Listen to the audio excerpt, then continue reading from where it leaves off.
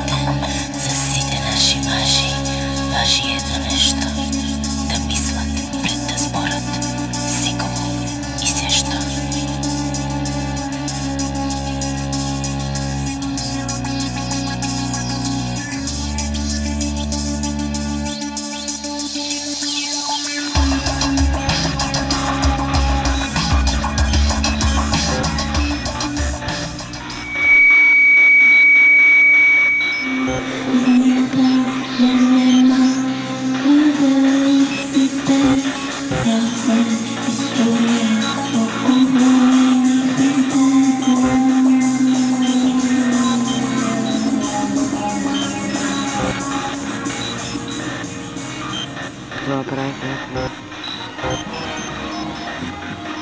you.